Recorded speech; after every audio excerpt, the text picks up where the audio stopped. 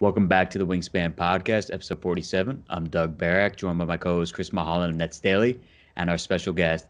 He's played for the Nets G League affiliate, the Long Island Nets, this past season, and he's currently playing overseas with Hapoel Holon in Israel Basketball Premier League.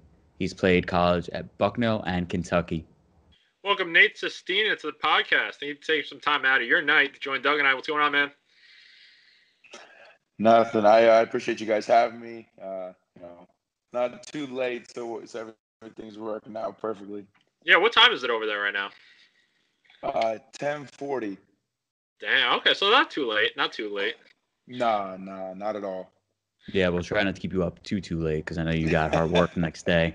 But great to have you on. Thanks for joining us. So you've had a pretty interesting journey, and you played through quite a few teams throughout your career. So can you talk about your journey and where you are today? And you don't have to go too too into detail, but you know, give us a general spin of things. Uh, just, I'm I'm from a really small town. Uh, played small town high school basketball. Uh, played at University or Bucknell University first. Uh, I had an incredible four years there. Um, won two championships there, and then to the University of Kentucky. Championship there, and you know didn't get the opportunity to play in the NCAA tournament because of COVID. But I'm still grateful for my time there, the connections I've made there, and then kind of went through that pre-draft process, which was like eight months long to, uh, uh, you know, end up signing with the Brooklyn Nets uh, on an Exhibit 10, going to training camp, uh, and then ended up playing for the Long Island Nets in the G League bubble this year. And then once the the bubble was over, uh, me and my agent decided to, you know, sign my contract to come over to Israel, and uh, I've been here for about a month and like two weeks, and it's just been great. Yeah, it's awesome. So, how has uh, been playing overseas? Like, how's the season for you going thus far in Israel? Uh, it's actually uh, it's it's been incredible. The uh, the team, you know, from our GM all the way down to you know our youngest guy in the team, who actually just left to fulfill his requirement of joining the military at age 18 everybody's been been incredible for me. Um, playing with a lot of high level pros. I'm the youngest guy on our team. Other than I'm learning from a lot of really good pros and guys that are um, they're about the Champions League late, and, and I didn't register for that because I was playing in the G League, but uh, I'm going to go and you know practice and, and, compete and push those guys so that they're ready to go. And uh, tomorrow actually starts the Balkan League Final Four for us, uh, and you know we win tomorrow hopefully, and uh, the championships on Thursday. So hopefully just continue to win and you know put championships on my resume. Yeah, no, definitely. something I just thought of is because of your connection with the Brooklyn Nets. did you stay in touch with Coach Stat since he played several times uh, for Maccabi? Yeah, when I was actually at training camp, um, I had talked to him about it, and uh, I had had some friends that have played in Israel before, and I was just asking about his experience and playing for Maccabi, and uh, you know, it's one of the one of the best teams in the world. So I was just picking his brain about uh, play style, and you know, like the, we were talking about earlier, the culture shock and everything, and uh, and just his experience with it overall, and just really getting a good feel for it. Yeah, and has he taught you any like fun phrases in Hebrew or Ivrit? No, he has. I didn't. I didn't actually ask anything like that. We'll, we'll see if I can help you out a little bit. You know, took some Hebrew back in the day, but. and, so, what are some differences in play style uh, overseas in the uh, compared to like the NBA or you know other states and such? Uh, I think you, you say play style. You kind of broke up first. Yeah, yeah, yeah. So kind of like some of the differences in play style you've seen in overseas compared to back home NBA, you know, collegiate level.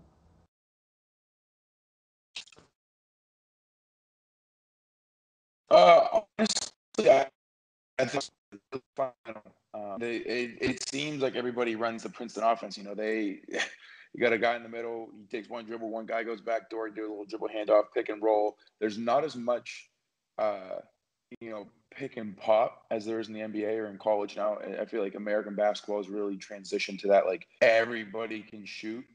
you know everybody can shoot threes. Uh, there's a select few, obviously, in the NBA, some centers who, who can't, but um, everybody over here is you know pick and roll, pick and pop, back doors. Uh, it's like a lot of like fundamental basketball, um, but it's really fast paced, and I, I, think that that was one thing that I was very surprised by. Uh, you know, being at training camp and playing in the G League, I thought that that was fast paced, and I got over here, and our oldest guy on the team is 37 years old, 38 years old, and he's still moving well, and I'm like, man, like, and it's it's incredible. So um, I think just the the play style is you know more roles than there are pick and pop. Our coach actually loves shooting threes, so that's one thing that I was very fortunate to you know come into the this guy as well. Yeah. So what would you say like uh, is the biggest thing you brought to the team so far? Like something that is your claim to fame. Like what kind of dynamic part of the game? or what, it can also be your personality as well. You know, a player is more than just what they do on the court. I would so. say just being young. just being young. Um, I'm 23. I'm about to be 24 years old. So it's I everybody on my team's 27 plus. You know, they they've been playing for a long time. Ten month season, so they're not they're a little run down. You know, energy might not be there all the time. So I came in. I kind of I did my best to bring like a little bit of a morale boost. Um, and you know, I'm just grateful. I'm like I said, I'm from a really small town, and to basketball player is just a huge blessing to me. So, you know, every day I wake up, I you know I take care of my body, I take care of my brain, make sure I'm ready to go, and I'm just thankful that I get to play basketball for a living and get paid to put a ball in a hoop. You know, and I got the easiest job. I got practice for two hours a day, and then I play games. You know, some people work long shifts and everything. So I think just you know having a smile on my face and just being excited to play is something that I definitely brought over here. Yeah, definitely. Uh, and then Nate, I got one question for you too. Like you know, with a lot of young guys, especially coming out of college or like rookies and G League guys, a lot of them like to kind of say, okay, I want to stay in the states rather than kind of go overseas and like develop their game or have that opportunity. Why was why did you choose to kind of go overseas after like one G League season? And if you had to provide advice to anyone that was listening to this, that's kind of was in your shoes after the end of the G League bubble, why do you think it's always a good idea to go overseas when you still have that gap of play in? Honestly, I think it's just it's important to to stay ready, and you had kind of touched on it, just to you know continue to play, hone in on skills that you might not be able to hone in on, uh, depending on you know what team you're with or you know the system that you're in. Um, for me, I think being able to you know have a little bit of a mid post game uh, can benefit my game you know, at the NBA level where it's not just pick and pop the whole time. You know, you can short roll or you can slip to 15 foot. And then if you have, you know, if you have a little bit of a game there and you can score points there, one through five, whoever's guarding you, uh, I think that, that that can add to my resume, you know, help me get my foot back in the door and, uh, you know, get a knock at the NBA or another chance. And I think that coming over here uh, was just another opportunity for me to stay ready, you know, provided the, the summer league is, you know, going to happen this year. It's, it's a huge goal of mine is you know to make an NBA roster and uh, you know be on an NBA team. So uh, my agent and I had decided that it was it was best to you know get into a situation where my skills would be you know put forth where I can you know shoot threes, I can do all that, but I wanted to work on some things as well. And European basketball allows you for you to do that. You know, a lot of mid post situations and a lot of short rolls. And if they switch, you know, it's not switch kick out, let the, the guard go at the big. It's a lot of the time. Let the big go at the guard in the post. Mm-hmm. And then, okay, so let's let's move forward to like the the bubble time. Your t- time in the bubble with Long Island Nets. So how was that experience overall for you? It was incredible. You know, the the G League did such an, uh, amazing job of uh, taking care of everything for us. You know, housing, food, uh, COVID testing, COVID protocols, uh, but also, you know, you didn't you didn't feel trapped in there. Uh, there were areas where you, you, know you could hang out at the pool. There are areas for you to play games. Uh, you had a team room that had Xbox or PlayStation, TV, ping pong. That was a huge thing for our, our team was ping. Uh, I think Ellie, Ellie and CJ Mass might have been the best player. Just you know, it was kind of like an extended, just being that that young. That's how I kind of viewed it. Um, but it I definitely learned a lot about myself, and I learned a lot about that. Mm-hmm. And then looking back on it, was was the bubble something that you expected going in? I guess obviously with the bubble, everything's more safety focused with obviously protocols, getting tested every day. But when you look back on that experience and when you look in going into it, what was kind of some of the things that surprised you about the bubble? I think the amount of games that we were able to play in such a short amount of time. I think we played 15 games in 25 days, and that's just nuts. Even for me, like I, you know, like I said, I'm young, so I, I'm I wake up, I'm ready to go. But even for like our older guys on our team too, like it was just it was incredible that our our health and you know make sure that we were ready to go every single day. Um, and just the like competitive nature of each game, even if you're coming off of a back to back, like the back end of that game fight and you're still playing hard, you know, and then you have a little bit of time to rest. But I think just the ability to play that many games in that amount of time and, you know, compete. And I think that that was something that uh, everybody on our team was looking forward to. Mm-hmm. And obviously, compared to like the last G League season, this one was shorter, right? It was, I think it was 15 games and something amount of days. I think it was 35, 40 days. So mm-hmm. when you look mm-hmm. back on that, especially with your development, because obviously, you know, with G League, it's all about developing your game and kind of taking that next step. So how would you kind of sum up the development? Was it do do you see it as obviously with time kind of goes away from the development, but would you how would you kind of just sum it up?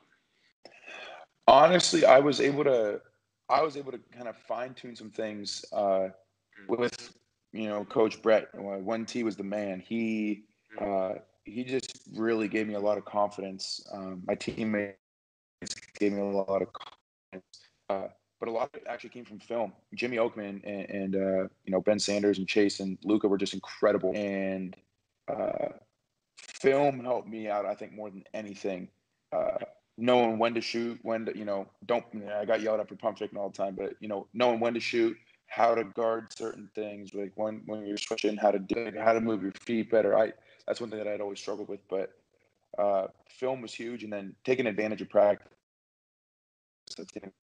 Mm-hmm. Uh, not just going in there and you know chucking up 100 threes, but you know really focusing in on my workout. I'd rather get you know 50 makes than 100 total threes shot because you know you might only make 30 of them, but if you get 50 makes, so uh, just I think taking advantage of the time. Mm-hmm. And you talked about Bret, right? So obviously Bret, this past season, you guys talked about the whole season, right? He was an energy guy really thrived off his energy, and obviously his resume speaks for himself. He was on the Cavs when they won, and he's just got a lengthy history of being an assistant across the league, especially with the Nets. So how would you kind of sum up like Bret's coaching style? You know, like I mentioned, he's an energy guy, but like kind of like learning under him, like how would you just kind of sum up what type of coach he is? I tell you what, his his X's and O's during the game, oh my, like he could draw up a play for a certain situation and it just worked. And I'm like, there's no way that every single time this guy drops a play, it's going to work. And I'm not joking. I think 90% of the time, 95% of the time, it did. You know, a guy might have missed a screen or, you know, the guard might have done something a little different and, and thrown it off. But if we ran it the way he drew it up, it, it worked. And, uh, but I think one thing that he did a really good job of is, is allowing so we come into a huddle, big, all right, what what what do we see? And guys would speak up, and then like he would draw a play based off of what we just told him. And you know, guys are going under screens, guys are slipping it, they're cheating it, and we would draw and you know turn your hips somewhat a certain way for screens, and just I think his ability to uh, adapt and allow us to ha- kind of help him out um, is going to help him, you know, when he gets into a head coaching position and and I I don't doubt it for one second that he he'll be a head coach in the NBA soon. Oh, most definitely, most definitely. And then moving on a little bit, so you had that. So I guess we'll we'll we'll top off the G League with this. Like when you look back at it, what were some of your biggest takeaways? Switching one through five is huge. I think that that's one thing that uh, I'm I'm continuing to work on. Um, communication is huge, uh, and just I think the the the biggest takeaways too are, you know, you got to win games no matter what. You know, you got to dive on the floor. It doesn't matter who you are on the team, whether you you know you're a guy in a two way or you're you know the bottom guy on the roster, you're you know regular guy, whatever it is. You have to play with energy and effort, and if you don't, then you won't play. And I think that. Uh, and it doesn't matter who you are as well. If you know, if you you say something to the coach or you back talk or anything, it's like and this is your job, but this is also his job too. So you know, he wants to win games, we want to win games, but uh, just you know, coming together and, and playing, and you know, we we are able to throw together a roster and, and compete. And I think that that's something that Matt did a great job of is putting a, a roster together that. Mm-hmm, mm-hmm. And then, so when you a lot of really good guys. Mm-hmm.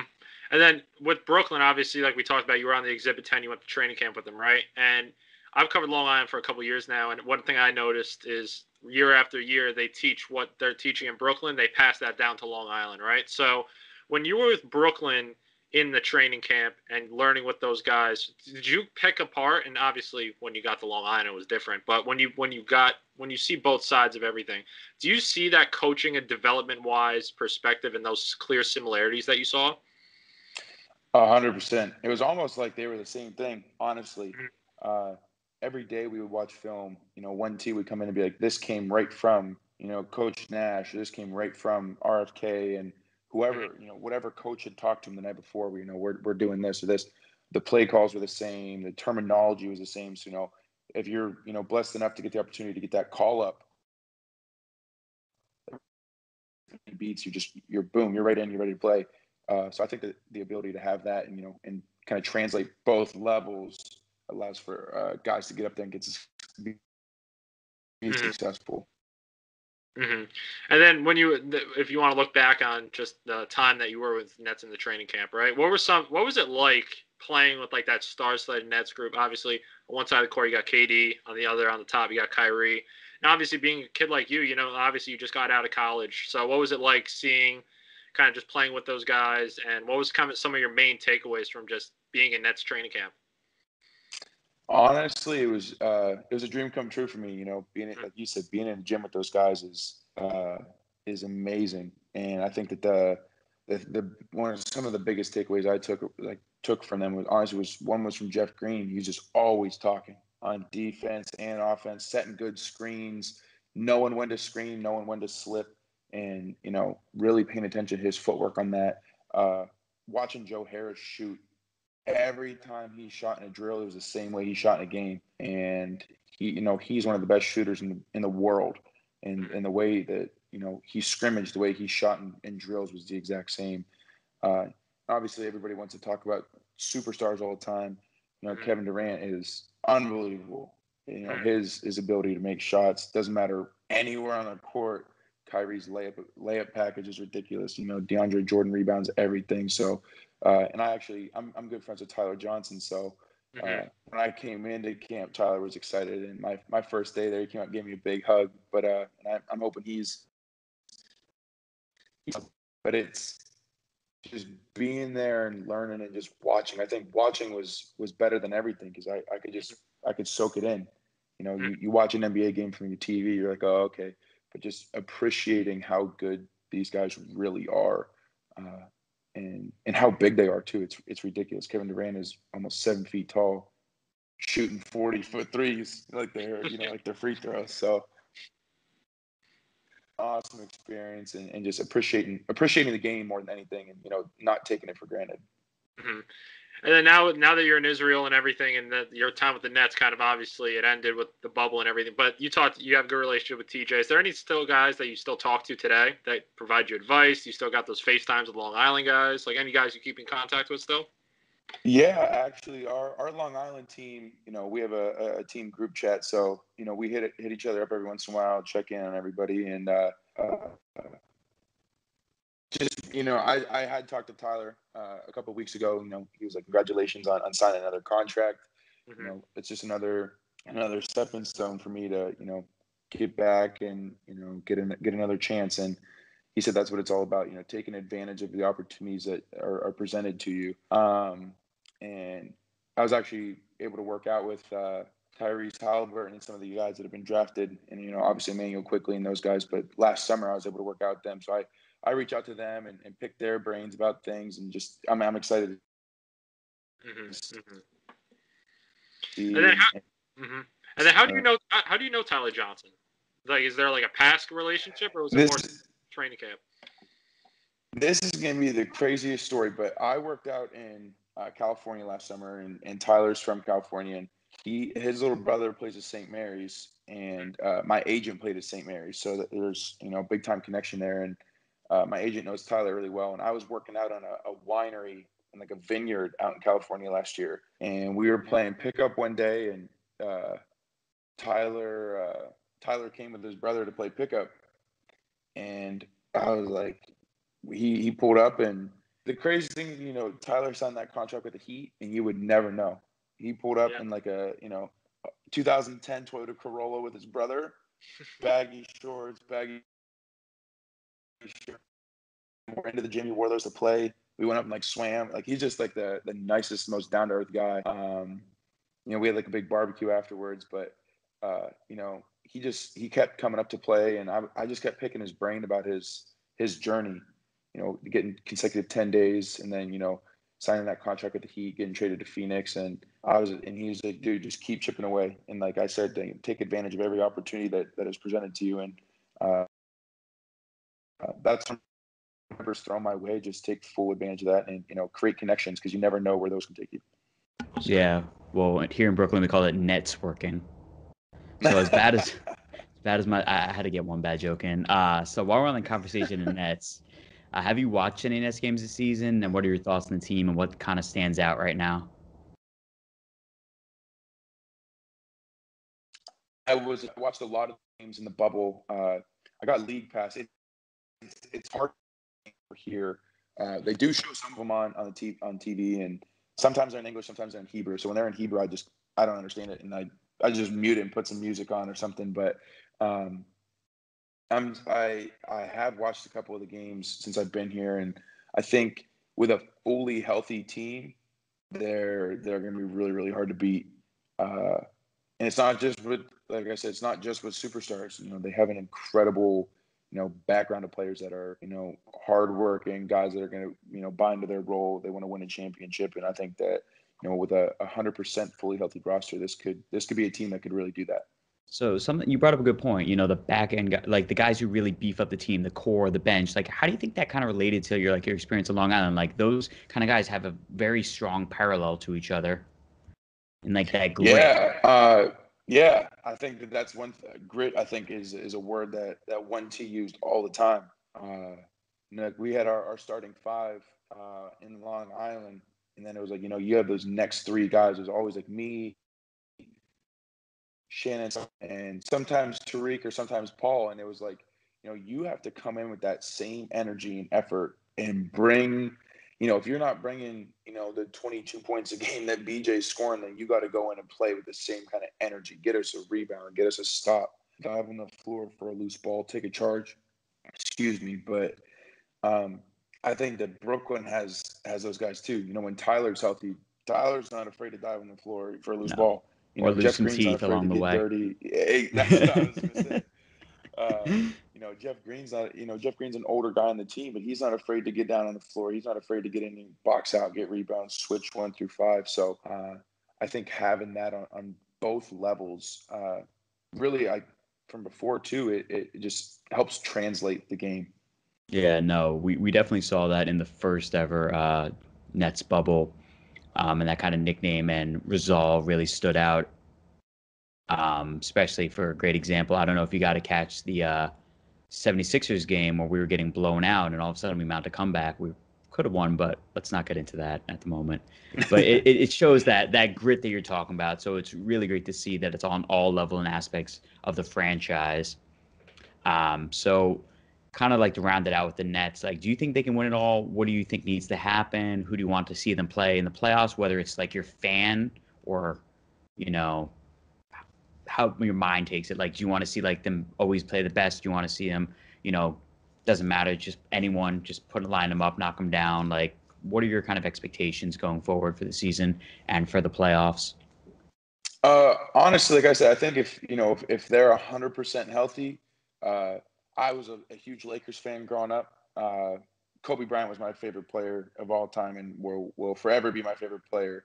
Um, so I think you know a fully healthy Lakers team versus a fully healthy Nets team. Uh, you know, we'll, we'll bring back that like Cleveland Cavaliers mm-hmm. esque game, you know, that esque series. That it's just two titans going at it, and I hope it goes seven games. I'd love that. You know, Oh, you get extra basketball from some of the best in the world. Uh, better than that, but um, I think if if you're going to play in the East, I, I would love to see them either play, you know, Philly or or Milwaukee. My love seeing Tyrese Maxey out there for Philly, maybe even New York with Immanuel Quickley. I I love seeing Immanuel and Tyrese doing well and love seeing their success. But uh, you know, I hope obviously I hope Brooklyn comes out of the East and uh, I think if if I had to choose a team, I hope they played a, a fully healthy Lakers team as well. It'd just be it'd make for a really fun finals. Um, obviously, I'd hope Brooklyn would, would take on the NBA championship and you know bring bring back some some hype to to New York City and you know continue to have that you know as every as long as everybody stays with the, the team next year and everything and um, just bring back a, a championship and you know kind of get that hype going again in New York City. Yeah, no, it definitely should be an amazing experience. Hopefully, the time zones will work out for you so you can watch some of these games, hopefully live. I, I know that was one of my issues when I was in Israel on a trip. We were, I found out the next day Joe Johnson took game winner over uh, Sergi Baca a couple years ago. So I hope you don't have to wake up that you can experience it live when that when that ball drops and we hear the buzzer. yeah. If, if I have to, I'll stay up. I'm not, Living and breathing basketball. Yeah. That's that's Yeah. cool.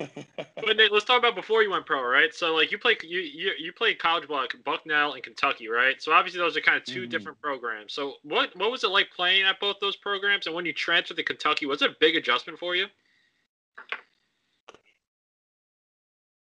Uh, to answer your first question, playing at Bucknell was was incredible. I, I have you know my three best friends in the whole world uh, were the guys that came in with me, and uh, and they're doing great in, in life right now too. You know, my, my one buddy Matt's selling commercial real estate in San Francisco, and he's killing it. Uh, Nate Jones is about to go to law school, and uh, Kimbal Mackenzie's actually playing in Spain right now. So Kimbal will continue to play, and, and he's going to play again. You know, for as long as his his body allows him to play, and um, just I, I really grew and felt, but I, I grew a lot as a person there. Uh, it was a big culture shock for me there. I'm from the middle of nowhere, Pennsylvania, and you go. Obviously, Bucknell's not in some city, but it, it's there. You know, come from New York City, Boston, all very wealthy areas on the, on the East Coast, and it's a huge Mm-hmm. culture shock. I grew a lot as a person. I, you know, I, I ended up getting hurt my freshman year, so as crazy as it's going to sound, I'm very grateful for that. Um, it makes me appreciate basketball a lot more. Um, and then the end of my four years there, I, you know, I wanted to grow and, and develop a little bit more, and I put my name in the transfer portal. As you're seeing, everybody who does that is their their phones are probably blowing up and everything. And uh, I was fortunate enough to have a very successful senior year, and you know, I was really grateful for the the people who had reached out to me. It was some some big time schools, and I was very very shocked. 'cause I was like, man, I was hoping to get, you know, some some really good, you know, high level mid major teams, maybe even some like lower high major teams. And I was just shocked when Coach Cal called me and. You know, he's like, "Hey, Nate, it's John Calipari." I put my phone on mute, and I was like, "There's no way I'm on the phone with him right now," you know. And uh, he was just like, you know, I I, I watched film on you all, all night, and like they were in the NCAA tournament. He's like, I love your game. You know, I love how much you, you know, even you're on the bench, like your first guy off five. He's like, I, I think, you know, bringing a, a fifth year guy like that that can, you know, help teach our young guys that would would benefit our program, but it would also benefit you. And I got there, I was like 265 pounds. I was coming off of a foot injury, and uh, June 3rd, I weighed in like 265, and July 27th, uh, I weighed 234. A lot of weight in a short amount of time, but uh, I had to in order to play there. I, I could not have played at, at a heavy weight, um, and but it just another thing is that helped, you know, kind of build into that appreciating the game, and I learned a lot. And I learned a lot from you know Tony Barbee, Joel Justus, Kenny Payne, who's with the Knicks now, uh, and our strength coach Rob Harris. A lot of life lessons. You know, it's a lot bigger than basketball, and you know, creating those relationships and because you never know. Like whenever I'm done playing, you know, Joel's gonna be a head coach. Like, where should I start? You know, he might have an assistant. So just it's a lot bigger than just putting a ball in a hoop and, and playing. So I think those are that's one of my biggest takeaways from playing there, and it was a huge adjustment. The speed of the game there is nuts. We got a lot of guys that are going to be NBA players that play there, so uh, trying to guard Tyrese Maxey in a pick and roll, especially when I was heavy, it was terrible. I couldn't move my feet, and I'm I'm these guys are looking at me like, what is this kid doing here? He can't play here. So uh, I think losing all that weight helped me, and it kind of gained their trust that I'm willing to work really, really hard, and uh, I'll do whatever it takes for for me and for for the team to to win. Mm-hmm. And looking back at it, what was it like learning under Cal, right? Because like Coach Cal, obviously, is one of the best coaches, really, of collegiate of all time. And then, hugely, I know you talked about the type of program they have there, but like, what type of what type of program do they have that you notice that like sticks out? Like, if you had to take a recruiting approach and say, "Hey, this guy wants to play Kentucky," what would you tell them about the program? It's it really is players first. Um, mm-hmm. No matter what it was, we have you know like NBA level locker room facilities, like our living facility, all of it. You know, you have the best weight room, you have the best gear, you have a Nike contract that is just ridiculous. You know, every couple days you get a new pair of shoes. You, you, know, you get a new sweatsuit, you get a winter coat. Mm-hmm. I'm like, man, I didn't wear the same pair of socks for like three straight weeks, and I was like, what is going on here? You know, but uh, I think that just for me that was a huge shock. You know, you went from a mid-major school that has a certain budget to you know you're going to a borderline NBA team that you know you can go and you can get dinner and you could get whatever you want. You know, you can anything that you needed. We like we got massages for the whole team all the time. Take care of your body. Rest and like rest and recovery was so big. Uh, state of the art facilities like the weight room. Um, was pretty much like whatever you needed, you know, for you to be your best player and the best person. Uh, if you needed, you know, mental health coach, there's one ready to go. Uh, our trainer Jeff was incredible. He was with the Phoenix Suns for a couple years, so he came in, brought all that NBA knowledge. Anything that like you needed from Jeff, like boom, it was done. You know, when I broke my wrist, uh, I got surgery the next morning. Like I broke my wrist at like 7 p.m. and I was in the hospital I got my X-ray and everything, and I was in the hospital the next day at six for surgery at eight. You know, so um, anything that any of our players ever needed, it was done. Like mm-hmm. it was faster than you can snap your fingers, pretty much. So the kid was like, "Hey, I want to go to Kentucky." It's hard though. it's really, really hard. You know, that's the biggest. Practices are hard. You compete every single day. Doesn't matter if you have a game the next day. Like you're playing five on five. You're running stuff uh, you, you, know, you're bumping every day, and I think that towards the end of the season, I think that's what separated us from teams was how much better in shape we were. Mm-hmm. You know, you're on sprints every day, so it's not like you're, you know, you don't take days off there, and uh, so I think you know it is players first, but it's hard. Mm-hmm. You're mentally tough. You're physically tough enough to sur- survive anywhere you want to play. Mm-hmm. And when you were at Kentucky, you were obviously, like you mentioned, teammates with Immanuel Quickley, right? So obviously he's thriving in New York right now. He's really making a name for himself over there. So are you surprised by his success? And what do you think of his success so far? Uh, honestly, I'm not surprised by it, and everybody's probably going to say that, but I I've never met a kid who works harder than him. Uh, like, truthfully, he early morning, late at night. I don't think he slept. Honestly, uh, I think that 18 years old, you know, you don't you don't care about. Uh, he was the hardest working kid I had ever seen. After games, he's in the gym. You know, you want to go and you want to, you know, play some video games. You want to eat, whatever. Like he's in the gym, full sweat. You know, he just had 28 against you know whoever Auburn or somebody back in the gym working out. Boom, boom, boom. Uh, I think that's what really separated him though is he had a vision and a goal for himself. Uh, a lot of people didn't see, and it didn't matter that those other people didn't see it. He did. Mm. believed it, and you know he's a really faithful kid, and he's my roommate on on road. You know, we just talked a lot, and he was just like, "Dude, like, I'm gonna do this. I'm gonna do this. I'm gonna do this." And I was like, "You're doing it right now." And he's like, "No, no, no. Like, I like I'm gonna make it." I was like, "All right," and I, I would always just joke with him. I was like, "Improve." He's just, you know, he was one of my best friends when I was there, and uh, I'm just so happy for him and his family. He comes from a great family, and uh, you know his mom and his aunt were at every game, so uh, or as many games as they can get to, and it's it's just it's incredible to see his success, and I'm really happy for him. Mm-hmm. And one guy I forgot to ask you about Long Island is you were down there with Reggie Perry for the whole bubble, right? So mm-hmm. what, a lot of these guys, a lot of Nets fans don't really know what to expect out of him because he hasn't he isn't playing that much in Brooklyn. But for someone that's really worked out with him, you know, you're in that same position gap. I can imagine you guys worked a lot down there together. And what can what can you tell like fans about Reggie Perry and what can he like bring to the table in the future? Uh, Reggie, honestly, he ever you know he's a he's a big strong kid. Uh, he rebounds really well. He can push the ball up the floor too, and I, that honestly that surprised me a couple of times. He grab a rebound and bring it up the court. And i'm like, oh crap, you know if he can do this and he can do that in the NBA, like he's in the NBA for a long time.